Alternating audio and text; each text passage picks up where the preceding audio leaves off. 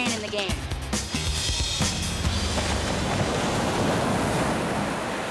If you want to surf, you need a board. And uh, maybe some cool shorts and some shades would be good, maybe a wetsuit. But most of all, you need waves. That's why surfers always get excited when they hear the words, Surf's up, dudes!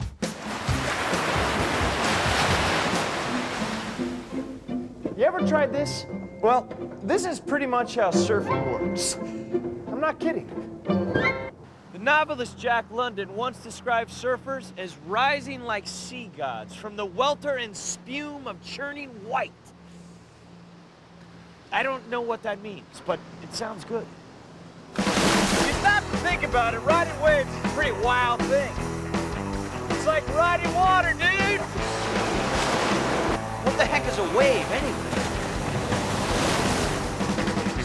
Water's natural state is to be totally flat and smooth, right? No hills, no valleys. I mean, you put water into anything, a tub, a glass, the ocean, a pond, and water's natural tendency is to lay flat, like this. That's called a state of equilibrium.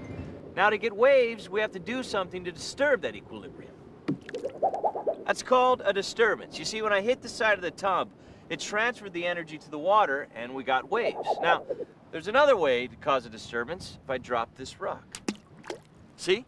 Waves. When I lift the rock, I give the rock gravitational potential energy, GPE. When I drop the rock, the GPE was converted to kinetic energy, KE. Now, when the rock hit the water, the kinetic energy was transferred to the water. We know that it was because we got waves.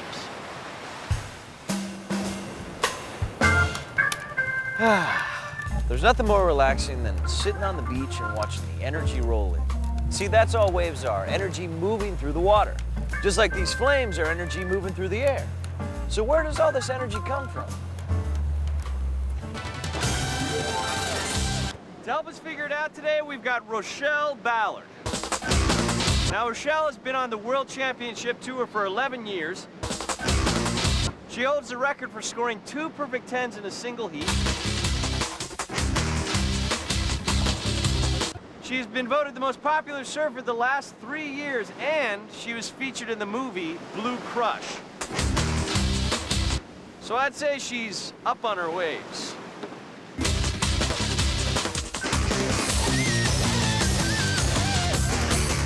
So, Rochelle, what's the best time of year for surfing down here in uh, Southern California? During the winter. The winter, but that's the coldest part of the year. That's when the swells are generated out in the Pacific Ocean. The swells. So what do you mean, like how far out? Well, the storms generate, you know, even like a thousand miles away and head towards land.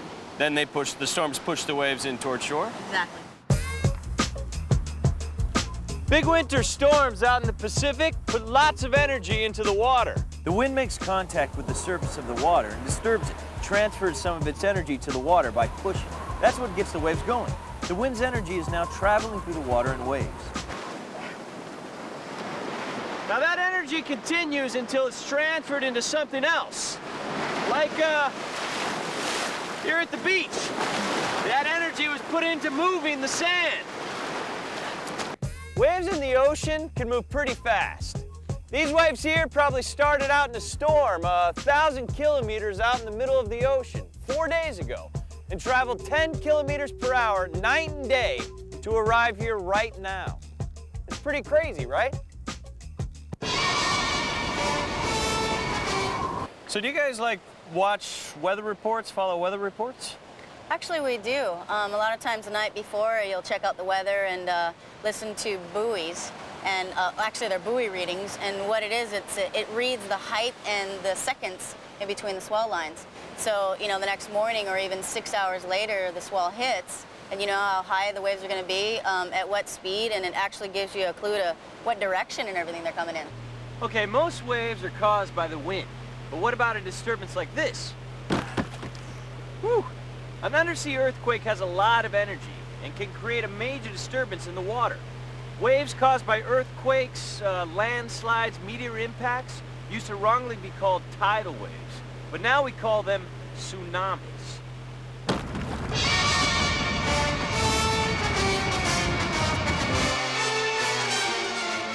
Luckily, tsunamis don't happen very often. Okay, so what can you guys tell me about waves? The wave is made up of a crest and a trough. Right. Like if this line were the water's normal surface equilibrium, The crest would be the high point above the equilibrium. And the trough would be the low point below the equilibrium. The distance between two crests is the wavelength. Like the wavelength of this wave is one meter. Okay, cool.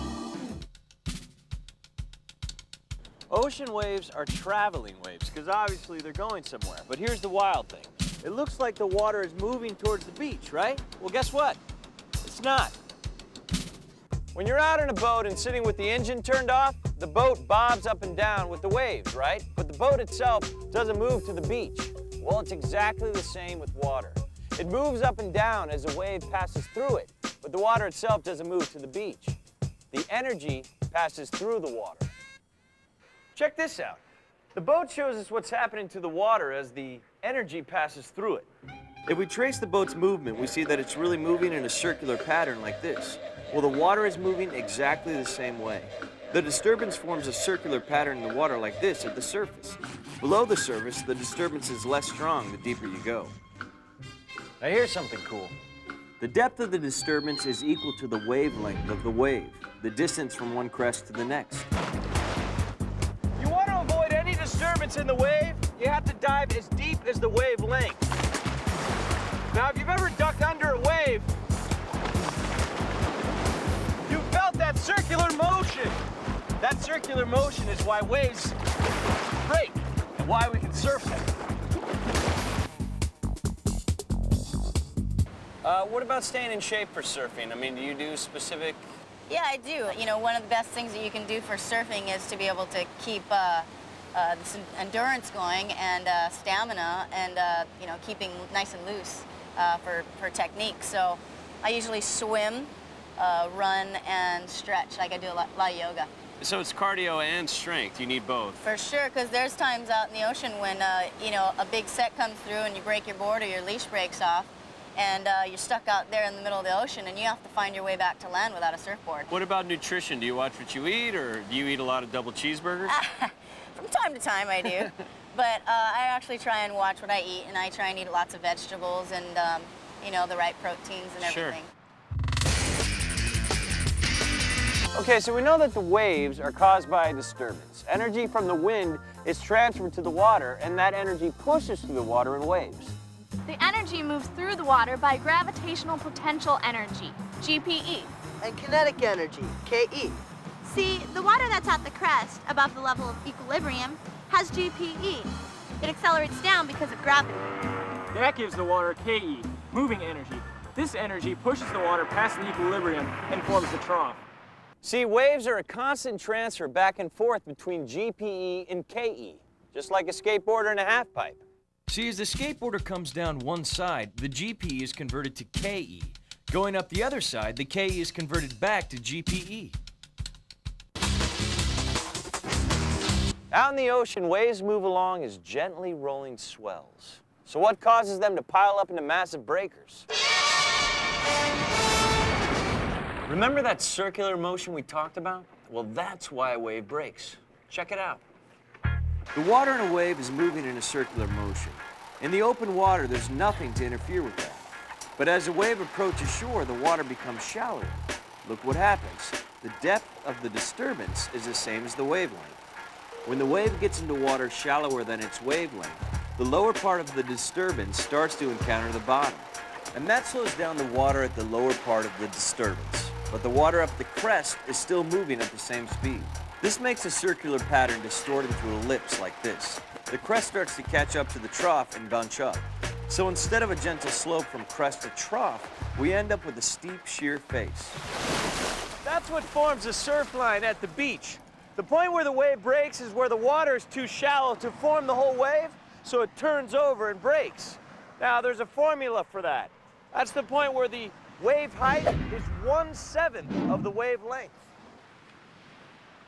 You can see the water's circular motion really clearly with this kind of wave. It's the circular motion that makes the tube. Rochelle, could you tell me a little bit about the tube? Sure. Uh, the tube's kind of a nucleus of the wave where, um, you know, the energy force of the wave is. And so, you know, naturally it's going to like kind of put you in this awe state and it's like a place where you feel like the seconds are longer than they really are, and you're like, your eyes are wide open, your mouth's wide open, and you're just like frozen in the moment. Sounds very zen. It is, it's great. It's the slope of the ocean bottom as it approaches the shore that determines how a wave will break. With a very shallow slope, the waves are called spilling breakers. They break for a long time, but you don't get much face. With a really steep bottom slope, the waves don't really break. They roll onto the steep beach and cause a lot of damage. They're called surging breakers. A bottom slope somewhere in between lets the waves pile up and curve over themselves. Plunging breakers are those nice tubes that surfers love. Okay, so now we know how a wave works, but how do you surf it? Surfing is no different than skateboarding, skiing, or snowboarding down a hill. If you were to freeze a wave in motion, it would look like this, a ramp for you to surf down. Gravity just pulls you down. That's why the timing of catching a wave is so important. Before a wave breaks, the face isn't steep enough to ride. You want to catch it just as the ramp forms. If the wave were frozen, you would just surf down to the bottom of it. That'd be it. The difference with the wave is that the water is rushing up the face of the wave, and that changes everything. So as the surfer moves down, the water is pushing back up. That upward force works against gravity so that the surfer doesn't slide down to the bottom all at once. It's pretty cool, huh? Surfing is just like walking down an up escalator. See, as I walk down, the stairs keep moving up, so I stay in the same place.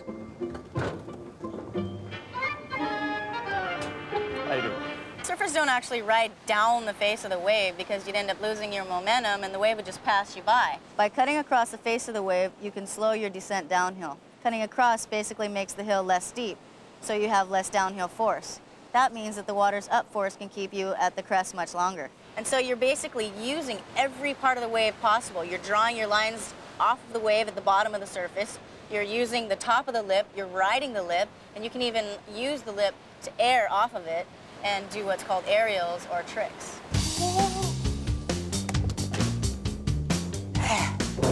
Oh yeah.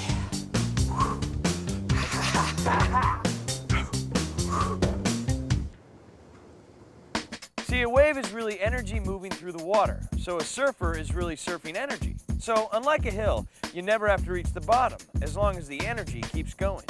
Thanks to wave machines like this, you can surf anywhere.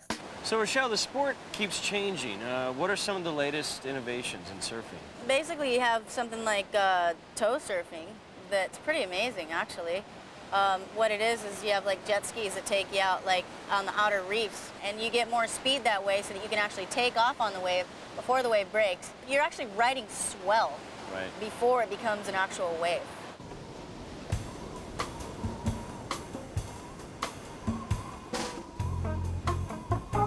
Okay, guys, so what do we learn?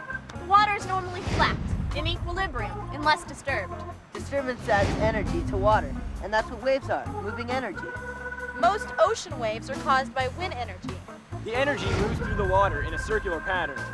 unless the water is too shallow for the disturbance to make a circle. That's when peaks form and the wave breaks. And that's when we can surf them. I don't know, the water looks pretty good, guys. Surf's up, let's go. Well, that's it. Rochelle Ballard, and our students, Barrett, Ryan, Melissa, and Ryan, for helping us out today on ESPN Sports Figures.